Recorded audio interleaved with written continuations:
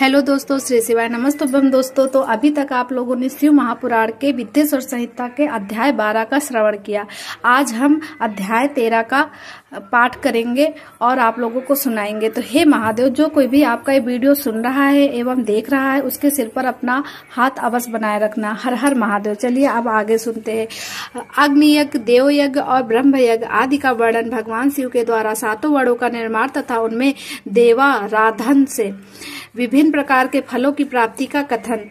ऋषियों ने कहा, प्रभु अग्नि यज्ञ देव यज्ञ ब्रह्म यज्ञ गुरु पूजा तथा व्रह तृप्ति का हमारे समझ क्रमशः वर्णन कीजिए। सूत जी बोले, महर्षियों, गृहस्थ पुरुष अग्नि में शामकाल और प्रातःकाल जो चावल, आदि द्रव की आहुति देता है, उसी को अग्नि यज्ञ कहते हैं, जो ब्रह्मचार आश्रम में स्थित है। उन ब्रह्मचारियों के लिए समिधा का आधान ही अग्नि यज्ञ है।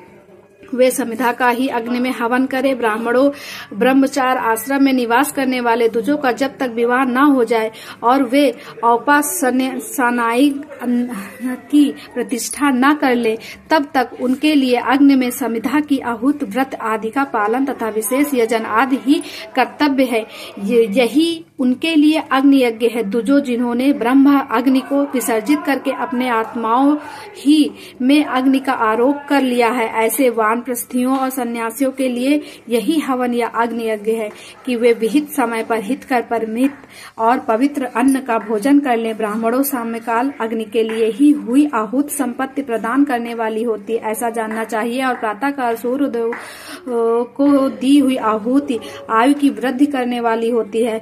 यह बात अच्छी तरह समझ लेनी चाहिए। दिन में अग्निदेव सूर्य में ही प्रविष्ट हो जाते हैं। अतः प्राप्त काल सूर्य को दी हुई आहुति भी अग्नि यज्ञ के ही अंतर्गत इस, है, इस प्रकार यह अग्नि यज्ञ वर्णन किया गया। इंद्र, यदि समस्त देवताओं के उद्देश्य से अग्नि में जो आहुत दी जाती है, उसे देव यज्ञ समझना चाहिए। स्थाली पाक आदि यज्ञों को देव यज्ञ ही मानना चाहिए। लौकिक अग्नि में प्रतिष्ठा, जो चूड़ाकरण आदि संस्कार निर्मित हवन कर्म, उन्हें भी देव यज्ञ के ही अंतर्गत जानना चाहिए।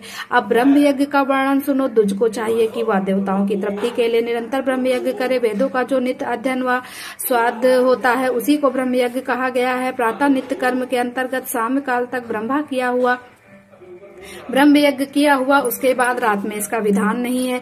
अग्नि के बिना देव यज्ञ कैसे संपन्न होता है, इसे तुम लोग श्रद्धा से तो और आदर पूर्वक सुनो। सृष्टि के आरंभ में सर्वज्ञ, दयालु और सर्व सामर्थ महादेव जी ने समस्त लोगों के उपकार के लिए वरों की कल्पना की। वे भगवान शिव संसार रूपी रोग को दूर करने के लिए वैध हैं।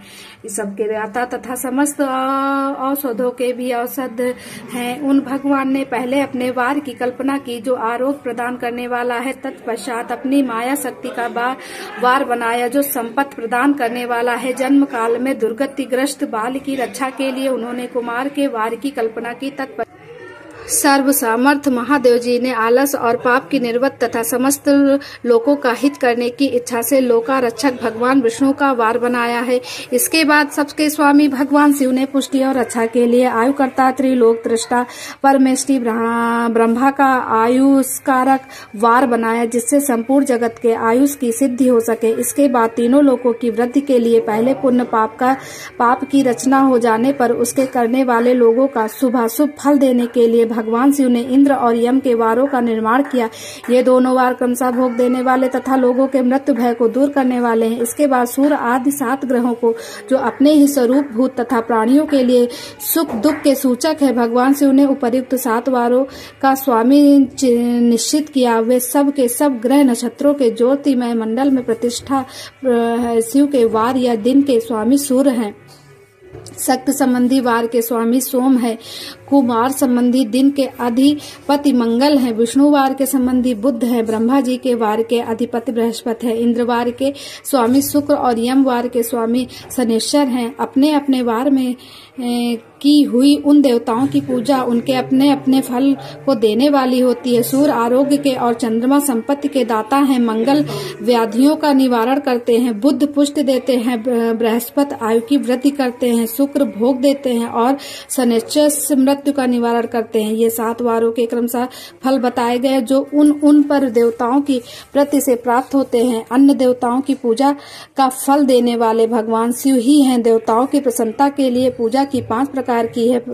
पद्धति बनाई गई है। उन उन देवताओं के मंत्रों का जप या पहला प्रकार है। उनके लिए होम करना दूसरा दान करना तीसरा तथा तप करना चौथा प्रकार है। किसी वेदी पर प्रतिमा में अग्नि में अथवा ब्राह्मण के शरीर में आराध्य देवता की भावना करके सोलह उपचारों से उनकी पूजा या आराधना करना पांचवा प्रकार है। तो दोस्तों अभी हमने ये आप लोगों को तेरवा अध्याय आधा सुनाया है। अगला आ, कथा इसके अगले वीडियो में आएगा। थोड़ी ही हमने कथा सुनाई क्योंकि वीडियो बहुत लंबा हो जाता है। तो चलिए दोस्तों, अब हम मिलते हैं अगले वीडियो में। हर हर महादेव।